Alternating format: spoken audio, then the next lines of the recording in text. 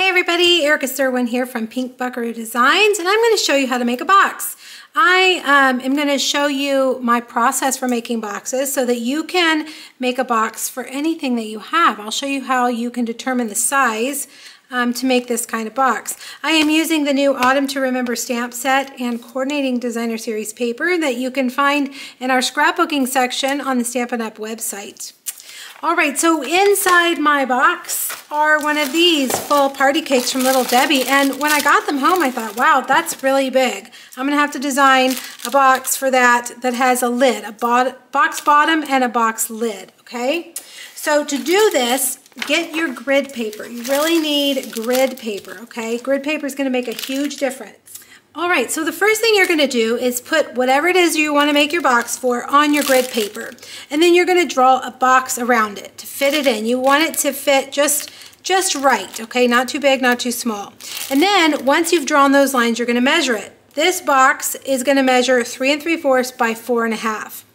Then take your treat or whatever, take your pencil take your ruler and sit it next to it and then figure out exactly how tall you want your box to be. And I have figured that this needs to have two inch sides coming up. So this size right here needs to be two inches. So I'm going to take my ruler and I'm going to draw two inches from both sides, okay? So we'll go out here and then we'll go two inches from this way, right there right? And then I can draw the line up even with this one. So we've added two inches on each side to this measurement, okay, two and two. And then you're gonna do the same thing on the top and the bottom, two inches and two inches. Make sure I get that right. You know, let me use the bottom of my ruler. Make sure, two, yep, okay. And then you're just gonna draw that line over to meet those points as well, okay? So here and here. And up here, two inches, and you're gonna go all the way across like this. So this side right here, we measured four and a half and we've added two and two. So that would be four, five, six, seven, eight, eight and a half. So this side measures eight and a half inches. This side, we took we had three and three fourths in the middle and we've added two and two, so seven and three fourths. So this side is seven and three fourths from here to here. So that's your box bottom, seven and three fourths by eight and a half, and we're gonna score it at two inches on all four sides. I'm gonna use Early Espresso cardstock for the bottom. And you're gonna get your Simply scored out. And we're just gonna score two inches on all four sides. So one, two, three, four. Whoops, it didn't go all the way down, four. All right, you want to get your bone folder, burnish those lines really well. And then grab your scissors. And I like to cut the corners off. So I'm going to go from score line to score line on all four corners, cutting those score lines off, or cutting those corners off. Okay, then I'm going to come down on the shorter side and I'm going to snip those score lines to stopping at that horizontal score line.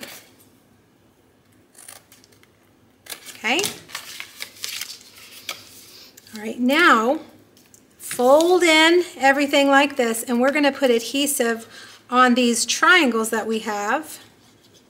And we're going to fold them in to that side. Now I have a bunch of clothespins, little mini clothespins here that I use to hold my boxes closed until they are dry. You want to make sure that the sides all meet the sides, so side and side right here. You don't want it sticking out like that. Make sure it's nice and square. And then we'll set that one aside to dry. Now let's make the lid. We're going to start with that same base measurement, okay? Remember, this is the base measurement we started with, three and three fourths by four and a half. And you need to decide how far down you want your box lid to come. So this is, I've decided, gonna come down a little more than a half, so one and a fourth. So then again, we're just gonna come on here and we are gonna measure one and a fourth to there and one and a fourth on this side. All right, so then we'll measure those lines up.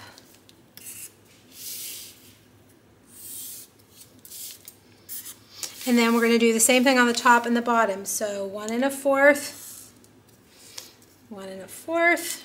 And you know, your grid paper has got these grid lines. So every square is a quarter inch. That kind of helps you. If you use this to design, then you can easily, easily count off your measurements using those grid lines. So one and a fourth and one and a fourth. All right, so we had three and three fourths. We're gonna add one and a fourth and one and a fourth. So three, four, and five. One and a fourth plus three fourths is one, so that's six. And then we have one fourth left, so six and a fourth. Now here, we added four and a half, five and a half, six and a half, and then two fourths make a half, so that's seven. So seven inches this way, and six and a fourth inches that way. Okay, and we're gonna score it this time at one and a fourth. Now we're gonna do something a little bit different for the lid. We want the lid to just be a teeny tiny bit wider so that it'll slide down on our um, box. So in order to do that, I create a shim, and this is the amount of difference it's going to make on either side, okay? So it's not a whole lot. Uh, seven or eight post-it notes is what you need. Stick it over here on the side. I get the sticky side. And then go around and measure or score at one and a fourth. So one and a fourth, one and a fourth, one and a fourth, and one and a fourth. All right, same process. Burnish those lines. cut off your corners.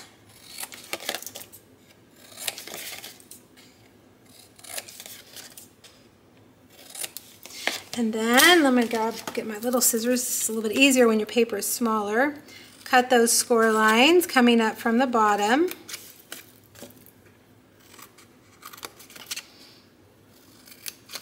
And then, once again, we're going to fold those in, add some glue.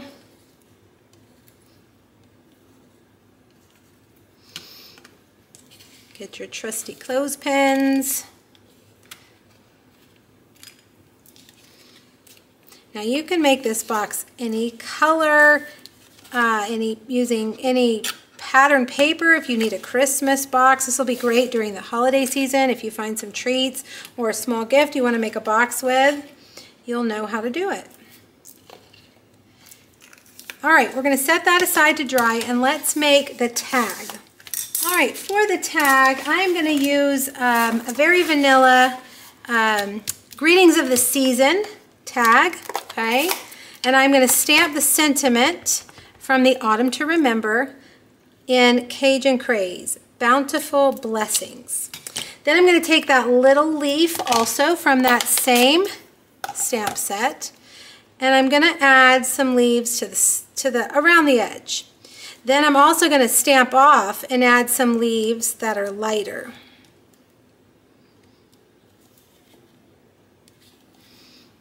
Do one more darker one like that. Okay.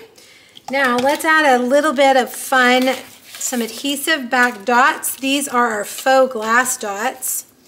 I really like these I think these are my favorite new embellishment from the holiday catalog. We'll add two here on the bottom and we'll just add one up here like that. All right, let's close up our ink pads and get our box put together. All right, take your clothespins off. There's our treat. And then the true test we're going to put this right down onto our box and it slides down perfectly. All right, now get your uh, designer series paper. And since this box lid was Remember, the box bottom part was three and three fourths by four and a half. You want to make your designer series paper either an eighth or a quarter of an inch smaller on each side. And you put that right there. I'm going to use our new wild wheat ribbon to hold it together.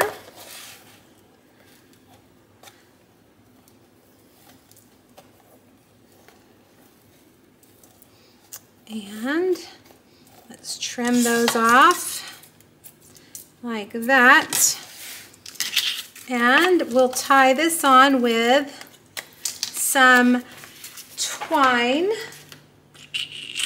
right here. I thought, oh no, it's gone, it's rolled away. I'm going to use some very vanilla baker's twine. And we'll just tie this onto our ribbon. And then we're done. I hope you guys will give this a try. Make sure you click the link here on YouTube. I've got several other uh, projects featuring this new these new products, the paper and the stamp set. Um, and there's a free PDF with measurements and a supply list. All right, there you go. I hope you guys enjoyed this project. Let me know if you have any questions and have fun stamping. Bye, everybody.